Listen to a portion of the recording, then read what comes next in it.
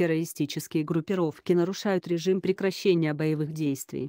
Террористические группировки нарушают режим прекращения боевых действий в провинции Идлиб готовится новая провокация с применением химического оружия. С 00 часов 00 минут 18 мая вооруженные силы Сирийской Арабской Республики в одностороннем порядке прекратили ведение огня в Идлибской зоне деэскалации. Вместе с тем факты обстрелов позиций правительственных войск и мирного населения в провинциях Хама, Латакия и Алипа со стороны боевиков продолжаются. С 18 мая зафиксировано 13 случаев нарушения режима прекращения боевых действий, в том числе с использованием минометов и реактивных систем залпового огня, запрещенных Астанинскими договоренностями от 2017 года и Сочинскими соглашениями от 2018 года к размещению в демилитаризованной зоне. Ночью в минувшую пятницу в Российский центр по примирению враждующих сторон и контролю за перемещением беженцев поступила информация о подготовке провокации террористами группировки Джабхатан Нусра в провинции Идлиб. По словам жителей населенного пункта Сиракап, в районе этого населенного пункта боевики готовят провокацию с использованием отравляющих химических веществ, а также доставленных из других районов Сирии обломков российских авиационных фугасных боеприпасов. Целью провокации, как указывается в сообщении ЦПВС, является обвинение ВКС России в применении химического оружия против мирного населения провинции Идлиб. Имитацию якобы отравления сирийцев рядом с осколками авиационных боеприпасов планируется снять на видео, чтобы распространить данные съемки в социальных сетях и западных СМИ. Полученная от ЦПВС информация от жителей населенного пункта Сиракап в ходе проверки получила подтверждение по другому независимому каналу. На прошлой неделе также стало известно, что выводы официального доклада Организации по запрещению химического оружия, ОСХА, о химатаке в сирийском городе Дума не соответствуют действительности и противоречат инженерной экспертизе.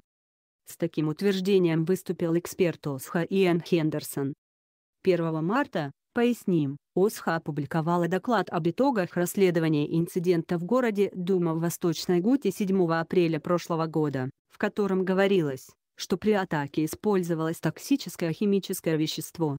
Вероятно, хлор. В документе сообщалось, что баллоны с хлором были сброшены с воздуха. Это позволило некоторым странам Запада обвинить в атаке сирийскую авиацию. Однако эксперт ОСХА Иэн Хендерсон считает, что наблюдения, сделанные в двух местах происшествия, вместе с последующим анализом позволяют предположить, что, вероятнее всего, баллоны положили, а не сбросили с воздуха.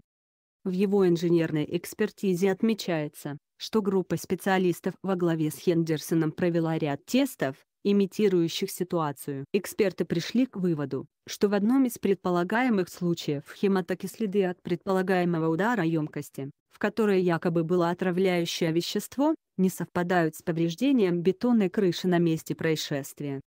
Анализ второго места, где емкость с газом нашли на кровати в одном из помещений, показал, что клапан баллона остался нетронутым, что невозможно при прохождении через перекрытие потолка.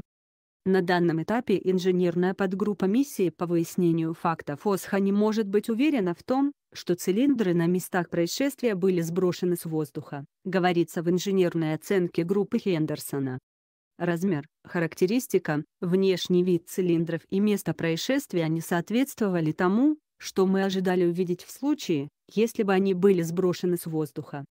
В каждом случае альтернативная гипотеза давала единственное правдоподобное объяснение наблюдениям на месте. С 18 мая зафиксировано 13 случаев нарушения экстремистами режима прекращения боевых действий, в том числе с использованием минометов и реактивных систем залпового огня. Ранее Запад обвинил Дамаск в химатаке на сирийский город Дума в восточном предместье Дамаска и пригрозил военными ударами.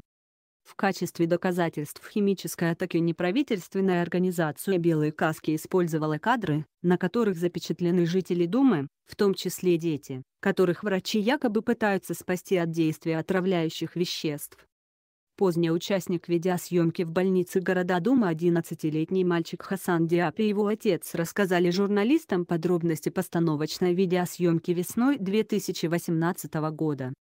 По их словам, Детям за участие в постановке тогда раздали печенье. Опрошенные жители дома не смогли подтвердить факт химической атаки, заявив, что не знают кого-либо, кто пострадал от отравляющих веществ. В пятницу, 17 мая, сирийские правительственные силы при посредничестве российского ЦПВС произвели обмен группы задержанных членов незаконных вооруженных формирований на граждан САР, удерживаемых боевиками.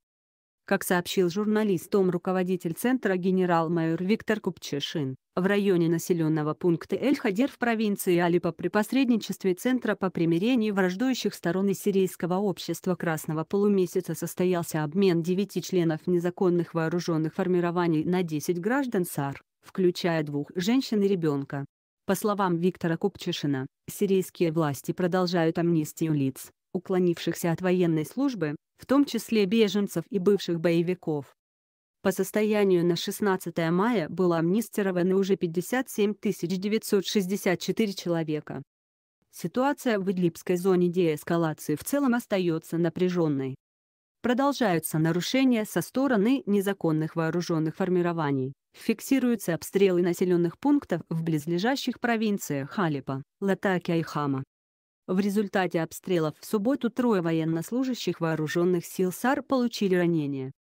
Согласно сообщению сирийского правительственного агентства САНА, имел место ракетный обстрел боевиками селений Аль-Хвейс и Аль-Шарашир в провинции Латакия. Удары нанесли формирование радикальных исламистов, базирующихся в зоне деэскалации в провинции Идлиб на севере Латакии рядом с турецкой границей. Экстремистские группировки по-прежнему удерживают расположенный в труднодоступной горной местности город Кабани, откуда имеют возможность обстрела мирных населенных пунктов. На стороне альянса радикальных исламистов Хаят Тахрир Ашам в том районе сражаются боевики из Туркестанской исламской партии, состоящие из прибывших из-за рубежа экстремистов и гуров.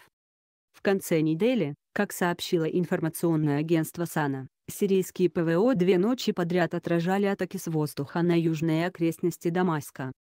Зенитчики поразили несколько воздушных целей противника в небе над Эль-Кунитро и южными пригородами столицы.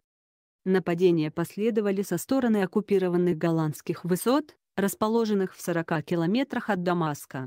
Атаки подвергались военные объекты и склады. В субботу Российским центром по примирению враждующих сторон и контролю за перемещением беженцев проведена одна гуманитарная акция в районе Арта-Аль-Хамра города Алипа, в ходе которой выдано 500 продовольственных наборов. Всего с начала процесса урегулирования российской стороной проведено 2116 гуманитарных акций.